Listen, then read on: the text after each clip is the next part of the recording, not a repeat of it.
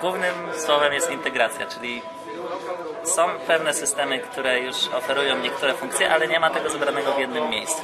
Dlatego chcielibyśmy y, zaoferować liceum narzędzie, dzięki któremu komunikacja pomiędzy nauczycielami, pomiędzy uczniami, pomiędzy rodzicami i, i całą administracją szkoły będzie dużo łatwiejsza, będzie możliwa, będzie skupiona w jednym miejscu i no, nie będzie problemu z dostaniem się do jakiejkolwiek informacji. W jakich technologiach? To jest y, Python y, jako główny język, frameworkiem y, do aplikacji sieciowej jest Django.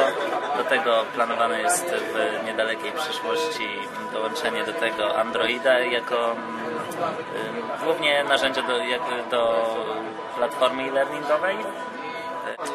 No i od strony klienta oczywiście JavaScript i jQuery, jako że to będzie działało. Yy, wszystko działa przez przeglądarkę internetową. Panel nauczyciela, choć oczywiście jest zmianie. Dodawanie nowych eventów.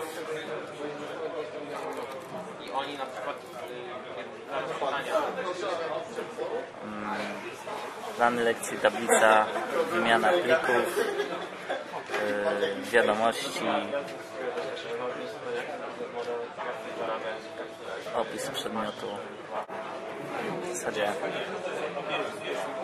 jest to dosyć wczesna wciąż wersja. Skończycie do jutra? Na pewno nie, Planujemy ale skończyć do tak środ, środka wakacji. Udało nam się już e, dogadać z jedną żeby po prostu zacząć z tym, żeby zaczęli, zaczęli z tego korzystać od września i no, pomogli nam w testowaniu. Dlatego chcielibyśmy gdzieś tak do połowy wakacji skończyć, potem połowy wakacji nauczyć się z tego korzystać i, i, i, i tak to ma wyglądać. Dzisiaj właśnie tutaj najbardziej chcemy dużo, dużo rzeczy dowiedzieliśmy się na przykład o interfejsie, że, że, że trzeba go zmienić gruntownie.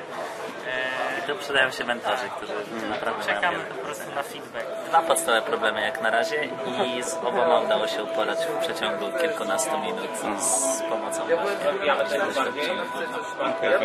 Ogólnie jak oceniacie imprezę? Super. Brakuje czegoś takiego. Na pewno na następną edycję też się zjawimy.